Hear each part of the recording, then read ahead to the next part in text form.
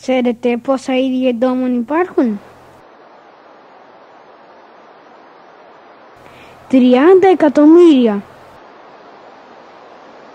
Το ξέρατε; Τώρα το μάθατε.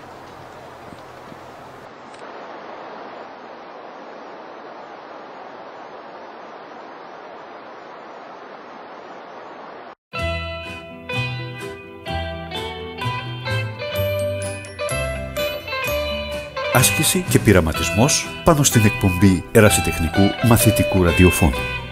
Μια εργασία του Γιώργου Πιτροπογιαννάκη προς εκπαιδευτική χρήση.